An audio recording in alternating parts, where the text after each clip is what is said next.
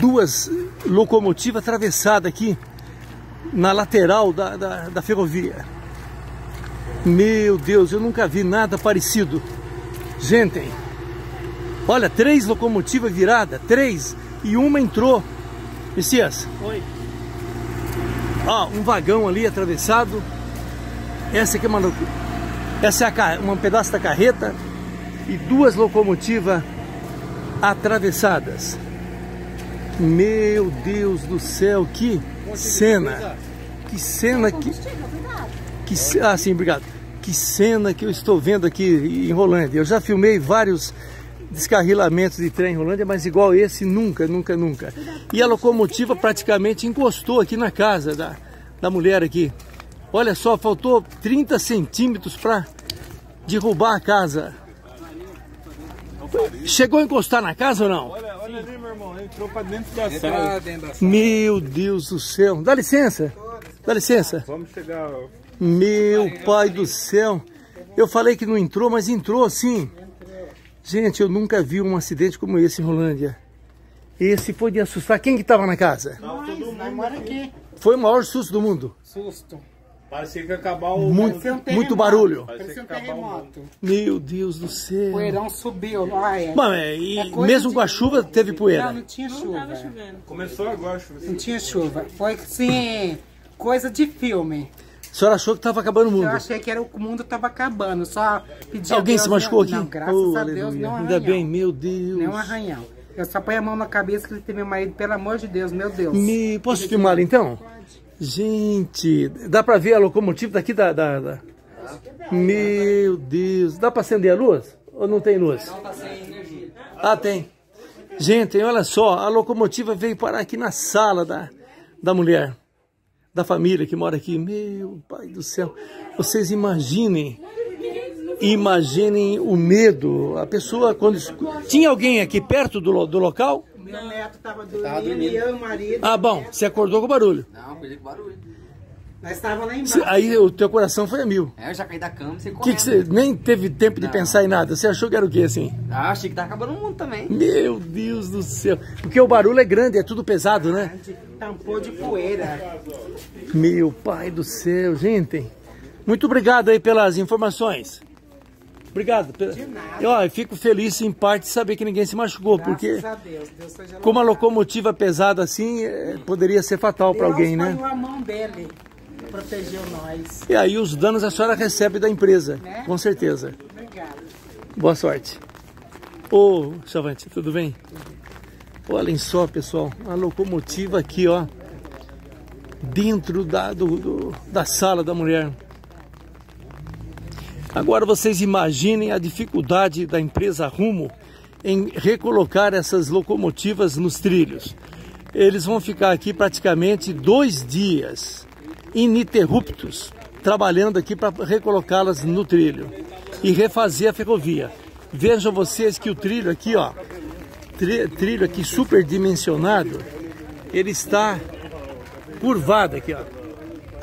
Chegou encurvar o, o trilho. Cachorrinho assustado. Você mora aqui, moça? A minha mãe e meu pai. Aí, do- nessa casa? Não, nessa casa são eles. Ah, tem alguém? Eu moro, meu pai e minha mãe moram na outra. Oi! Como é que foi o susto aí? Vocês chegaram a ver ou não? Só ouviram? Não, mas quando, quando teve a batida, alguém viu? Vocês estavam aqui fora? E aí? Foi horrível? Aí eu falei, corre! Meu Deus! Aí É? Meu Deus! Então o trem estava correndo bastante. Olha, eu imagino o, o medo vosso. Agora já passou, graças a Deus. Obrigado pela entrevista. Gente, é todo mundo aqui se assustou muito com esse acidente. Foi algo assim. Nem no cinema você. Nem no cinema você vai ver uma cena como essa daqui. Lá está a carreta. Ah, eu eu já procurei saber se teve alguma vítima. Graças a Deus, não. Não teve nenhuma vítima. Está todo mundo bem de saúde. O, o motorista da carreta está passando bem. Locomotiva 673 é uma ES43 BBI, é uma locomotiva moderna. A de lá também eu acho que é uma ES43, isso mesmo. É a 673 e a 645. São locomotivas muito pesadas e velozes. Elas têm capacidade de... Oi, tudo bem, moça? Tem capacidade de desenvolver até 80 km por hora. Mas aqui o aqui a velocidade máxima permitida pela Rumo é 50 km por hora. Aqui a carreta Não, aqui um vagão, né? É, um vagão. Cheiro muito forte. Oi. Cheiro muito forte de óleo diesel.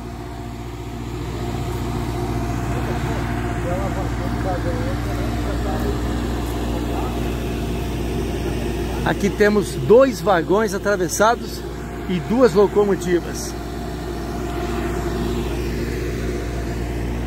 Aqui está a carreta que invadiu a ferrovia. E esse local aqui, é, nós possuímos... O sinal estava aberto para mim, tá? Você é o... Eu sou motorista, não invadi não, o sinal estava aberto. Quando fui atravessar, o sinal fechou. Tava verde? A hora que eu fui, cheguei nele, fechou. Ah, E é um rodotrem, não teve como parar. falhou então o sistema? O rapaz disse que estava verde para ele. E quando ele chegou, ficou vermelho. Eu não entendi. Bom, aí já fica aí mais uma versão para as autoridades encarregadas aí do inquérito esclarecerem, né? Imagine o susto desse motorista. Ele estava lá, estava vindo lá do outro lado e veio parar aqui, ó. Segundo a, a moradora ali, diz que essa carreta chegou sair do chão assim, voar, voar. Expressão que ela usou, vo, voou, né? Ô Farina. Cara, mas não foi fraco aqui não, hein? Meu pai do céu.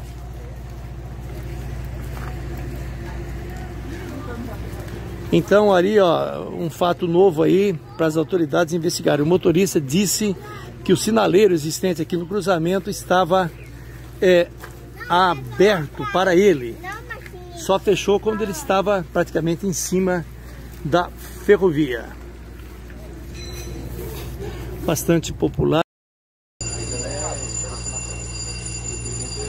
o cara falou que o cara tava botando a ainda lá e não parou.